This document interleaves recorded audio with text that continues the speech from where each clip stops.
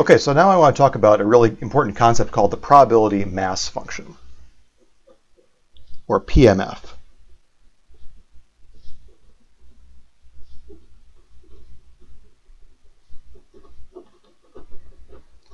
We're going to talk about this a lot going forward, uh, and this is going to kind of inform everything else we do in, in class, right? So this is a very simple idea. The idea is that now we have a set of discrete outcomes, numerical outcomes for a discrete random variable, and now we're going to assign probabilities to each of those outcomes, and we're going to make sure that all these probabilities make sense, okay? So the PMF is defined as the following little p, little uh, big X. Okay, so this is a little bit confusing. So this is little p, big X, little x. So this is basically a shorthand for saying what is the probability that, that the discrete random variable has the outcome little x, okay?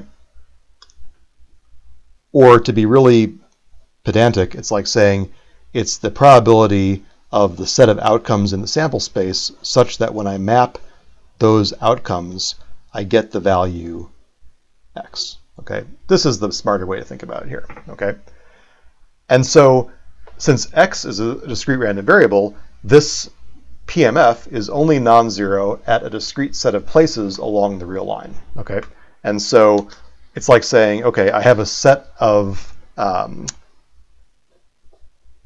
possible numerical outcomes for the discrete random variable. Could be a finite number, or it could be an infinite number. In each case, I can talk about what is the PMF at that point. And this is basically like a bar graph that says how much probability is there for each one of these possible outcomes.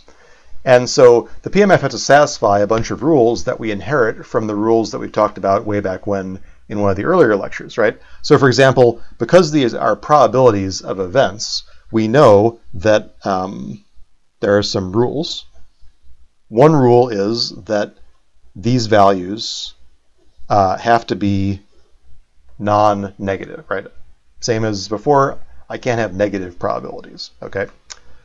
Also, if I look at the sum over um, all of the possibilities, or let's see, i equals 1 to possibly infinity, that if I add up all of these values, I have to get 1, right? That's like saying that exactly one of these numbers has to happen, and if I add up all those probabilities, I have to get a total value of 1, one unit of probability, right? So those two rules like make sense. And then, um, you know, this is just kind of a dumb way of saying the probability that x is in some set b, and again, this is like a, an interval of real numbers, that's just equal to the sum of looking at the outcomes that are in b times the, the individual probabilities of each of those outcomes. Okay, so this is just saying that if I want to find out what's the probability of a set of numbers in the real line, I look at all the discrete outcomes that lie in that set and I add up those corresponding probabilities. Okay, so now what we can do is we can talk about a bunch of different random variables just by specifying their PMF, right? And so what I want to talk about for the rest of this little lecture is common um, discrete random variables and their corresponding PDFs. PMFs, sorry. Right?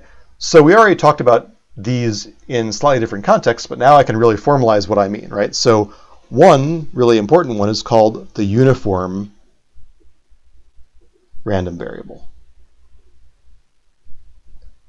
And this is just like rolling a die. That's like saying that I have n outcomes and each of those has probability 1 over n. This is like rolling a fair die and looking at the numbers 1 through 6, and each of those has probability 1 sixth, right? So one way of representing this is to draw a picture, right? Start with 2, start with 1, right? So these are my possible numerical outcomes. And what I could do is I could draw these like bars on a bar graph. And each of these bars has height 1, 6. So this is kind of like a bar graph or like a histogram of how often these outcomes happen. And remember we did this kind of numerical experiment a few lessons ago where I was kind of like plotting these bars, except it wasn't the actual PMF, it was like the observed frequency of things. And kind of what we know now is that if I look at enough experiments, that bar graph of actual outcomes should eventually converge to the underlying PMF. Okay. Now, one thing that you'll often see me do in these lectures, and there's a reason for it, is to draw this not as a bar graph, but as a set of arrows like this. And these arrows have height 1 6. Now, there's a reason for this, and the reason is related to if you took a class on signals and systems. If you're like an electrical engineer, you probably took a signals class, right? And these here are technically delta functions. So there's a reason why I want to do it this way, and it's going to have to do with when we start to compute things like averages and probabilities of intervals and so on. We're going to start to do integrals. And so I can't integrate a bar graph, but I can integrate a set of delta functions. So if you don't quite understand what this means right now, don't worry about it, but it is mathematically useful to think about a PMF in this way, as we're going to see in a few lectures. Okay. Um, kind of a preview. Okay, here's the preview is say, okay, what's what if I wanted to know what's the probability that um, x was less than 3?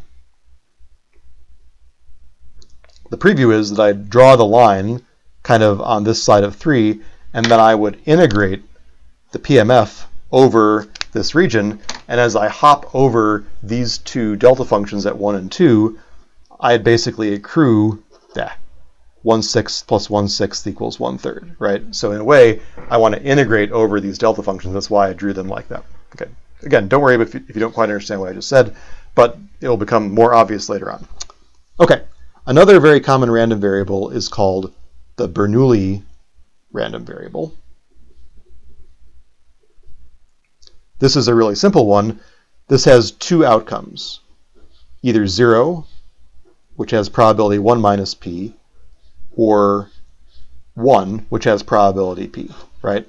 So I have two numerical outcomes, 1 minus p and p. And again, I can see that these add up to 1 in total, right? And this is nothing more than a coin flip or a Thanos snap, right? either I have success or I have failure, and I assign the probability of success to p and the probability of failure to 1 minus p. Okay. We also talked about this kind of flip a coin until you get a success. And now I'm going to give that experiment a name called the geometric random variable.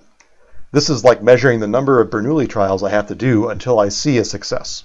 And so that's like saying the probability one coin flip is p. The probability that I need two coin flips is 1 minus p times p. Then I may need three flips, that's 1 minus p squared times p, and so on. So the general formula for a geometric random variable is, uh, I'm going to say k, 1 minus p to the k minus 1 times p, for k equals 1 to infinity. So these are the possible uh, discrete values I can have, and this is the probability for each of those values. And I think we showed in a previous lecture that if I sum up all of these probabilities, they add up to 1 using that infinite sum formula. Okay. I will say that sometimes you see a ge geometric random variable definition that starts at 0, and there's just like a slight modification of that. But usually in class, I'm going to assume that this geometric random variable has to be at least 1. Okay. And the final one I want to talk about is what's called the binomial random variable.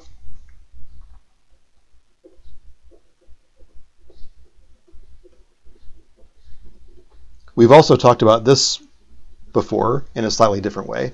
This is basically saying, you know, the the probability of getting k successes in n Bernoulli trials. Right? I flip a coin, n times, and I count the number of heads. So here, we already know from previous lectures that the way this works is I have n choose k possible places where I could get those successes, And then the probability of succeeding k times is p to the k, and the probability of failing n minus k times is 1 minus p to the n minus k. And then the possible outcomes that this can take on are 0 through n. Okay? And so you may remember that we kind of did the situation where we flipped a coin six times, and assuming that this coin is fair, then the result of this will kind of look a little bit like, you know, this. Something that's big in the middle and smaller around the sides. Okay? And the last thing I'll say about this is that, you know, now I don't have to necessarily give a PMF a name. I can just like tell you here are the values. Um, kind of a preview related to the numerical experiments we did before is that um, if we don't know the PDF,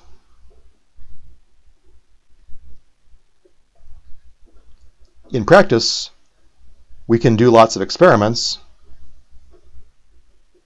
and compute or approximate that the number of times that I see the value k over the total number of trials will converge to the underlying PMF value, right? That's, you know, the way it should work. I keep on flipping the coin and I count things and hopefully that distribution will converge to the right thing, okay?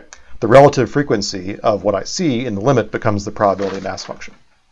So there's one more important random variable I want to talk about, but I'm going to save it till the next mini lesson because I want to give it a special treatment all on its own. Okay, that's called the Poisson random variable. Maybe I'll see you there.